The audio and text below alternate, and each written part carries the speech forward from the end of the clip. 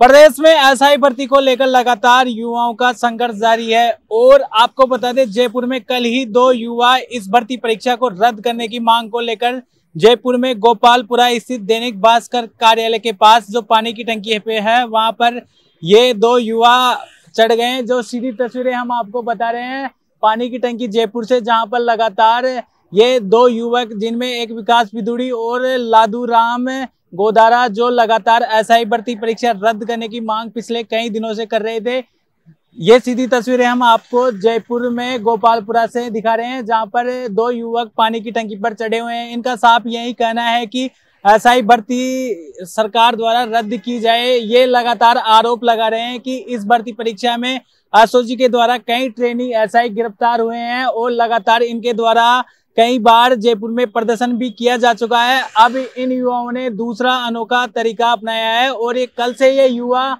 जयपुर में पानी की टंकी पर चढ़े हैं। यहाँ पर पुलिस प्रशासन भी सख्त नज़र आ रहा है। कल से ही पुलिस प्रशासन यहाँ पर तैनात है। पूरी रात भर इन दोनों युवाओं ने यहाँ पानी की टंकी पर, पूरी रात गुजारी है, जिसके बाद अब ये युवा फिर से अपनी बात सरकार तक पहुँचाने की कोशिश कर। पूरा मामला राजस्थान एसआई भर्ती परीक्षा, जो वर्ष 2021 में आठ पर आयोजित हुई थी, उस परीक्षा को लेकर है।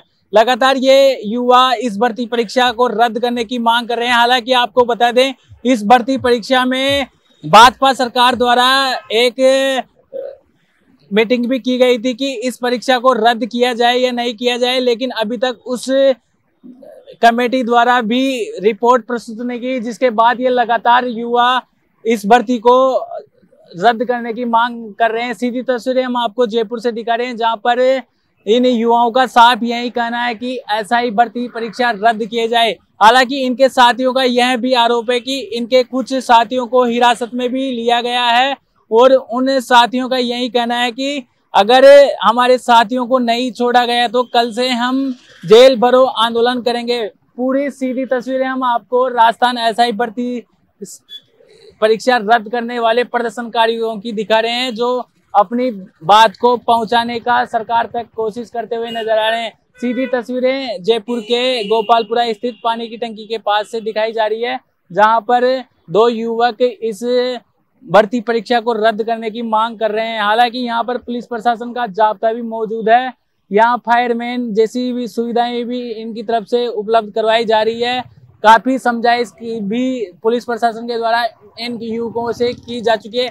लेकिन इन युवकों का साफ़ यही कहना है कि इनकी वार्ता सीधी भजन लाल सीएम से हो और तब तक ये इनको सकारात्मक आश्वासन नहीं मिल जाता, तब तक इनका यह प्रदर्शन चालू रहेगा। इन तमाम युवाओं का यही कहना है कि इन्होंने कई बार सरकार के सामने प्रदर्शन किया है।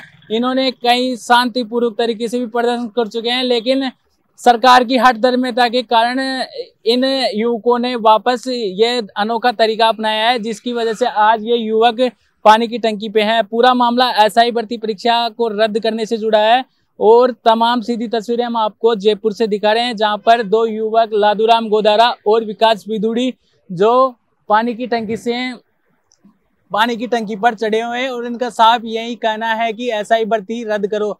बैनर के साथ ये युवा यहाँ पर अपना प्रदर्शन कर रहे हैं, जिसमें इन्होंने सात सूत्री मांगे भी बैनर में दे रखी है और एक अलग से बैनर लगा रखा है, जिसमें साफ़ साफ़ लिखा हुआ है कि भजन लाल सरकार से छात्रों का आह्वान, ऐसा ही भर्ती रद्द करो लिपापोती बंद करो। सीधी तस्वीरें हम आपको जयपुर से दिखा रहे हैं, जहाँ पर दो युवक विकास विदुड़ी और लादूराम गोदारा ही भर्ती रद्द करने की मांग को लेकर सरकार तक अपनी बात पहुँचाने की कोशिश कर रहे हैं। इन्होंने यह अनोखा तरीका अपनाया है। ये युवक पिछली पिछले एक दिन से पानी की टंकी पर चढ़े हुए हैं और आज इनका दूसरा दिन है। पूरी रात इन्होंने पानी की टंकी पर निकाली है। साफ़ इनका यही कहना है कि हमारी सीएम भजन लाल से मुलाकात की जाए और ऐसा ही भर्ती रद्द करने की सरकार सिफारिश करे। आपको बता दें, पूरा मामला राजस्थान लोक सेवा आयोग की असाई भर्ती से जुड़ा हुआ है। मैं सुनील कुमार, कैमरामैन सहयोगी, रमाकांत शर्मा के साथ द नगरी मीडिया।